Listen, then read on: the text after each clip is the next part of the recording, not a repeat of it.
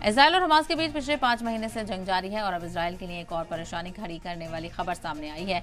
America की सालाना thread report के मुताबिक अमेरिका खुफिया एजेंसी ने इंतबा ज़ाहिर किया है कि इसराइल को हमास की तरफ़ से कई बरसों तक चैलेंज किया जाएगा। क्योंकि इसराइल लंबे वक्त से हमास के खिलाफ फौजी ऑपरेशन चला रहा है, लेकिन हमास को खत्म करने में अभी तक नाकामी साबित ही हो रहा है।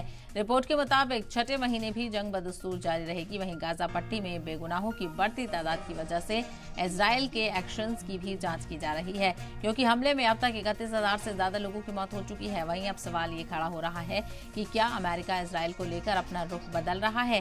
पुराने साथ इसराइल और अमेरिका के बीच जंग की वजह से रिश्ते खराब हो रहे हैं। अमेरिकी सदर का कहना है कि इसराइल के वजी अजम के साथ उनकी कोई मीटिंग तय नहीं है।